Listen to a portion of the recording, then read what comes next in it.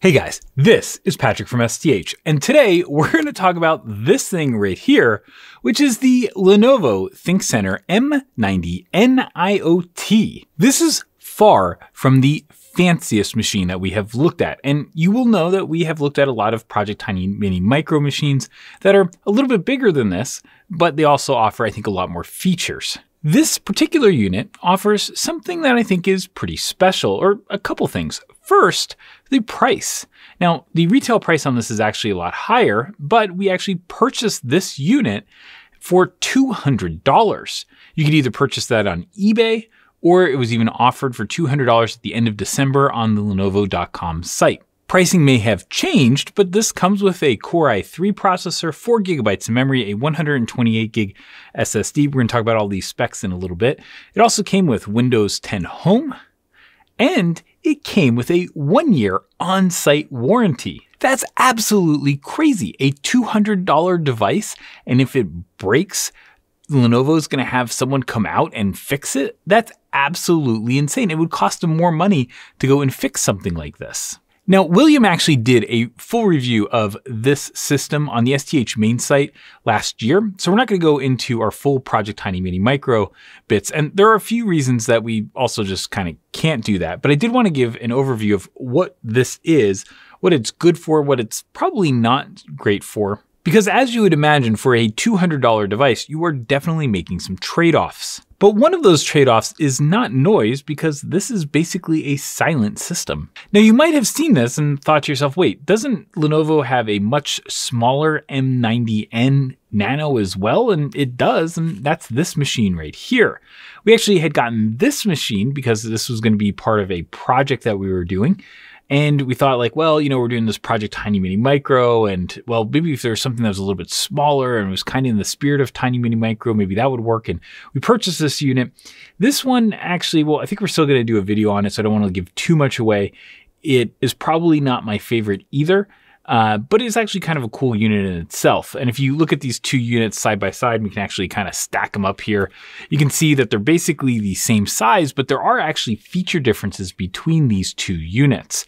So what I want to do is just kind of maybe do a really quick one in terms of what the differences are on these units, but I really want to focus mostly on the IoT variant. So the quick game plan for this video is that we are going to go over the hardware, of this, which is actually kind of pretty cool.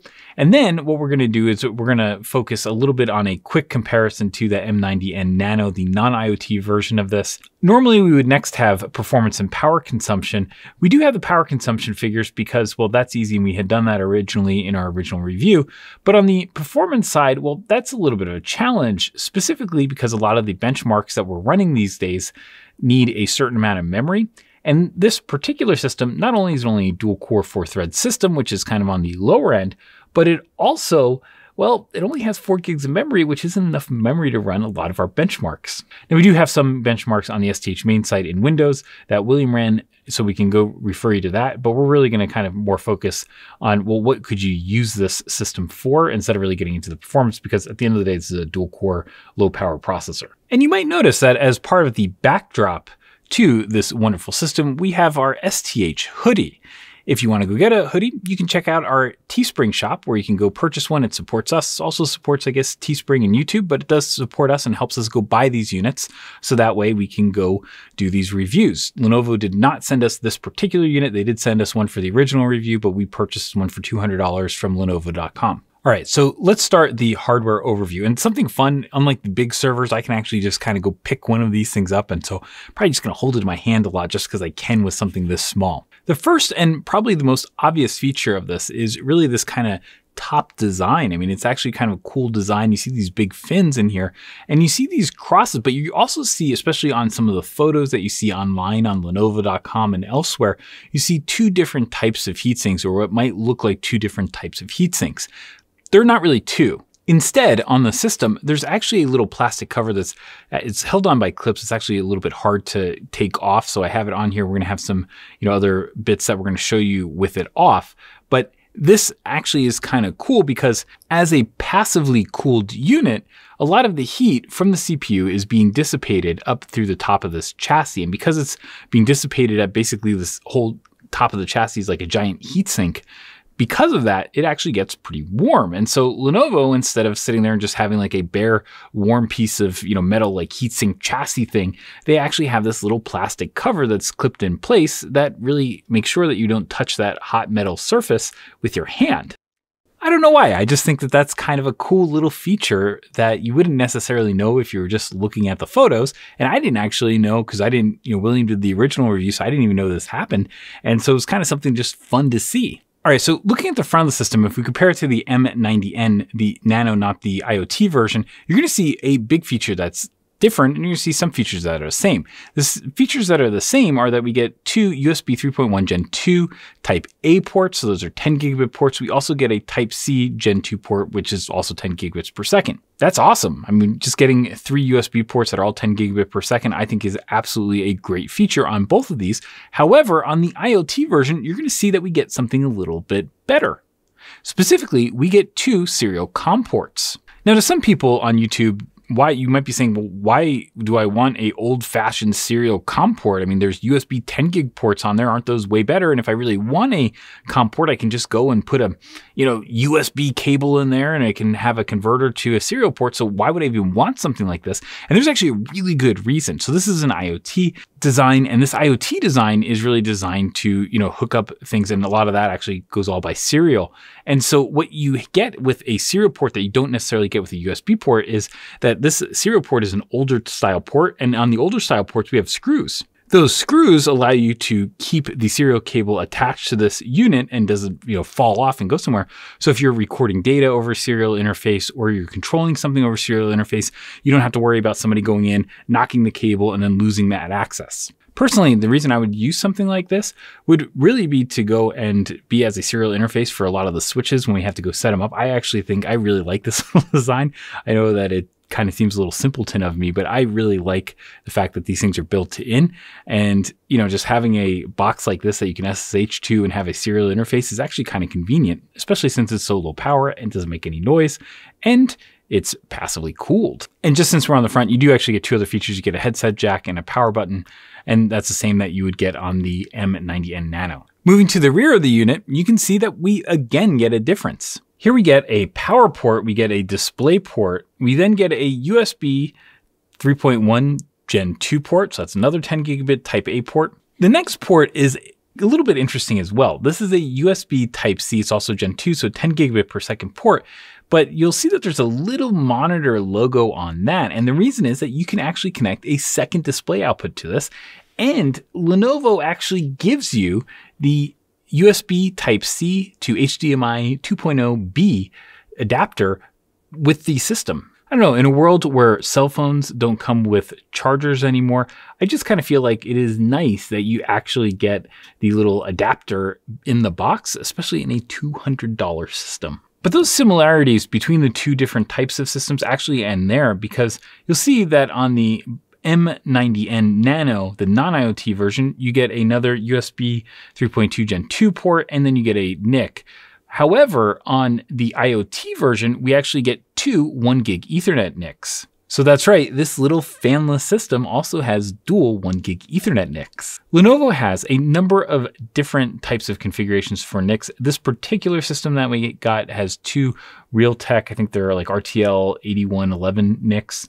And so those are not necessarily the best NICs in the world, but at the end of the day, these are, you know, $200 devices. So I kind of feel like, you know, that's perfectly reasonable at this price range adding something like an Intel i210 NIC or two of them would probably add somewhere like, you know, 250 to $3 to the BOM cost. So by the time you get all the way through production and stuff, that would actually add a pretty significant amount to a low end system like this. Finally, on both the systems, we also get our antenna port, and the system, of course, does come with an antenna from Lenovo because we get Wi-Fi. Another small difference that we saw was that on the bottom of this one that's nice and bright red, you actually get a one single red screw, which keeps this bottom section on. But on the IoT version, you get a ribbed version that's not bright red, and it has two screws that keep that cover on instead of just one. Once you undo those screws, you can actually just slide that little cover off and it comes off very easily. Now, inside this system has some of the best and maybe not best portions of the system, and I want to talk about both of those here. Let's start with the side that you can immediately see. Now, you probably see this crazy blue thermal pad right here. And this thermal pad underneath here is actually a Samsung NVMe SSD. This only came with a 128 gigabyte SSD, but I guess it's still not too bad for a $200 system. One of the really cool things that you can do is that, well, you could use that maybe for an OS SSD. And I think our review system that William had actually had a 256 gig drive. But what you can also do is that there's another M.2 SSD slot. Now this M.2 SSD slot is a PCIe Gen 3 slot, but it is not a by 4 slot, it's only a by 2 slot. You're not going to necessarily be able to put the fastest NVMe storage in a system like this, and you just kind of have to deal with the fact that that's a limitation of the system. The other thing that you can do though is that you can use that for SATA, so you could have an M.2 SATA SSD and put it in the slot. There are a couple of other interesting features though. So if we do get Wi-Fi up here. So we have an M.2 Wi-Fi. This is an Intel 802.11 AC unit, which is actually just really nice that you get Wi-Fi. So you actually get two one gig NICs Plus, you get Wi-Fi, which gives you a total of three network interfaces on the system. Now, the other side of the system, near the boot SSD, we actually get a couple pretty interesting little points. So the first thing that you're gonna see is that there's this hole right here, and that is for the fan. So we have the active version, which is here, but this is a passively cooled version, so we don't need that fan and it's not present. The other really interesting thing that we have here is we have a WWAN port, which is labeled LTE as well. So you can actually put an LTE M.2 radio in here. You have a SIM card slot, so you can put your SIM card in there. And then at the edge of the chassis, there are two ports that are covered up in this unit, but I guess you could use that if you needed to go put some, you know, antenna leads in and out of this case. So not only do we get dual 1 gig Ethernet and we get Wi-Fi and Bluetooth, but we could also potentially get a wireless WAN solution on this, which I think is awesome. So while this side of the internals is easy to access and has a lot of expandability, the other side frankly does not. We have a soldered on four gigabytes of memory, so you cannot expand that memory. You don't have an SO-DIMM slot and you're just stuck with four gigs because that's what was configured in the system. I think Lenovo may have the option to go to higher memory capacity, but you know, that's what we got. But the, I think the big issue there is if you have soldered on RAM like that, well, what do you do if you want to go and you need more? I mean, we couldn't even run a lot of our benchmarks with that four gigabytes. If we compare this to the Project Tiny Mini micro nodes, where you actually get two SO-DIMM slots that you can go expand, and on something, you know, an 8th gen Intel Core system like this, you'd be able to go potentially up to 64 gigabytes of memory in those, and you can configure it however you want. I mean, I think that that is a real reason that you should go for a Tiny Mini micro node over something like this. And just being clear, it's not just limited to this IoT version, it's also the same for the M90N just the Nano, the non-IoT version as well. I think this is an 8 gigabyte model and 8 gigabyte is frankly a lot better, but the reason I don't really like these as virtualization solutions, which was kind of my first thought of what we would use this for, the reason I don't really like it is just because you get stuck with a fixed memory capacity and you can't go up from there. Now, the CPU on this is the Intel Core i3 8145U. And that is a two core, four thread processor, but there is something that is really important. It's also a very low power processor, which is important if you're going to go do something like have a passively cooled chassis like. A fun little fact about this particular Core i3 processor is that it was launched in the third quarter of 2018. And when it was launched and actually still on ARK today, it's a $289 part. So that's right, we managed to get this entire system with a current, because it's not discontinued yet, a current Core i3 processor for less than the MSRP of the processor itself. Frankly, in 2021, I feel like that's not necessarily the fastest. I mean, it's a two core four thread processor, low power processor. It's really not that fast. And Project Tiny Mini micronodes actually have sockets or CPU sockets, so you can upgrade them if you want to somewhat. And they have a lot of different options, but here you're just kind of limited to what you get. Again, in a low cost system, we can make allowances for that. And it's fine if you're just kind of running a firewall or something like that, but it's not necessarily something that, you know, is a really pleasant desktop experience, we'll just say. Even though it comes with Windows 10 Home, I would say that it is definitely, it's usable, but it's not really that fast compared to a lot of the other things that you can get. And I think that if I had the personal choice to run a desktop that was either this or maybe a little bit older project, like use Project Tiny Mini Micro Node, I actually think that some of the older Project Tiny Mini Micro nodes are actually a better value uh, just because it's much faster. So in terms of power consumption, these are actually really interesting.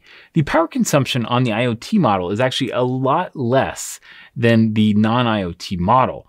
And what that practically means is that we get an idle that's just a little over 5 watts and we get a sub 25 watt maximum power consumption. That may not seem like a big deal, but it actually is important. So if you're thinking about using something like this for a firewall, just as an example, or you were going to use something that maybe had an IPMI controller like a ASPEED AST 2500 BMC that was on it, just for that out of band management bit. Now you lose the out of band management for a solution like this, which is also a security surface. But on the plus side, this actually has basically the power consumption at idle of just about what that kind of a modern BMC has at idle. So if you had something like an Atom C2558 or C3558 motherboard and you actually had a BMC on it, the BMC is, you know, a little over 4 watts usually even with the system power down, and this is like around 5 watts. So, you know, it's not it's pretty actually pretty comparable. In terms of power supply,